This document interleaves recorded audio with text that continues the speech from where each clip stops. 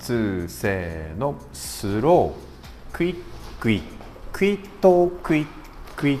クイットクイックイッククイック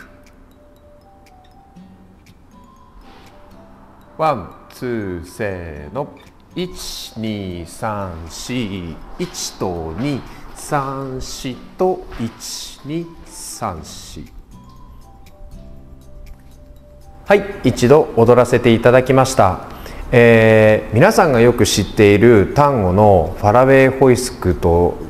格段に速さが違ったと思うんですよね。うん、っていうのは一般的には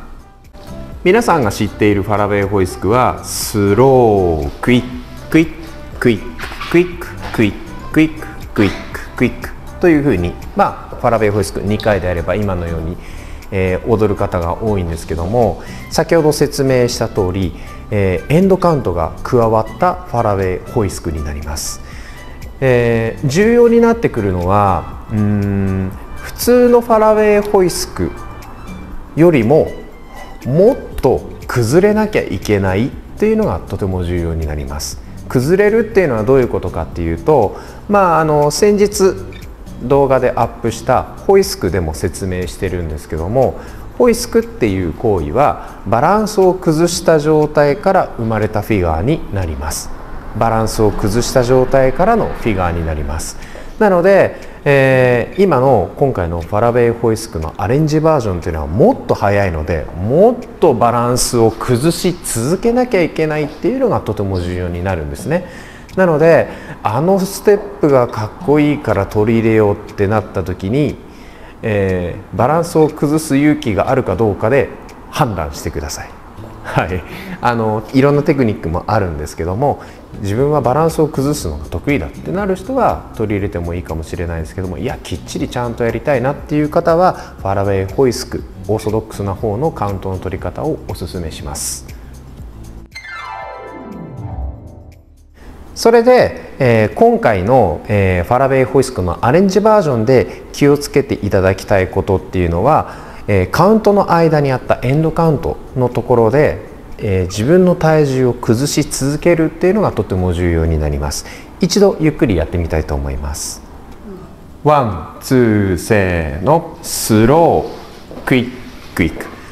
はいここからですね。一般的な fallaway whisk はここでクイッククイックになります。もう一度やってみますね。クイッククイックになるんですけどもアレンジバージョンは quick and になるので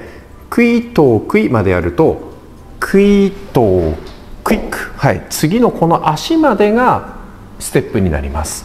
はい。なので、えー、ワンカウント増えることでステップが先に進むようなフィガーになりますね。もう一度やってみます。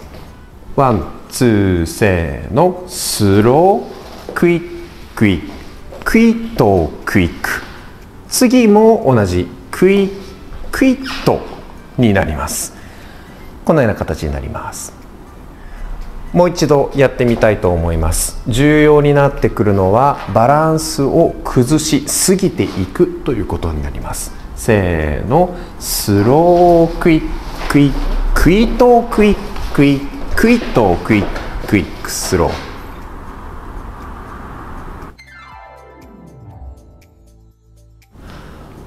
今踊った通り、えー、体がずっとこう前の方に転がり続けるというか動き続けていかないとスムーズに、えー、曲に間に合わなくなってしまうのがとても重要なポイントになってくると思います。でもしこのフィガーを取り入れた時に、えー、重要になってくるのが前の、えー、ファラウェイホイスクの動画でも、え、説明してるんですけども one two せーの slow quick quick。この時ですねこの時のプロムナードターンをした時の男性の体の向きがこの状態今だったらちょっとターンが少ない状態なんですけどもこの向きから速いバージョンのファラウェイホイスクをしようとしてしまうと女性を振り回してしまうっていう症状になってしまうのでその後の次フィガーがとても怖いです。 one two せーの slow quick quick。ここのプロムナードターンをした時に男性は思いのほか体をターンしておく。先ほどと向きが違うのが分かると思いますね。先ほどはここで止まった状態でのファラウェイホイスクでした。思いのほか体を回し続けてあげて女性にたくさん進んでもいいよっていう領域を作ってあげるとクイッとクイッククイッククイックというふうに踊ることができると思うので、えー、PP から出ていったところから回転量を稼ぐっていうのがとても重要になります。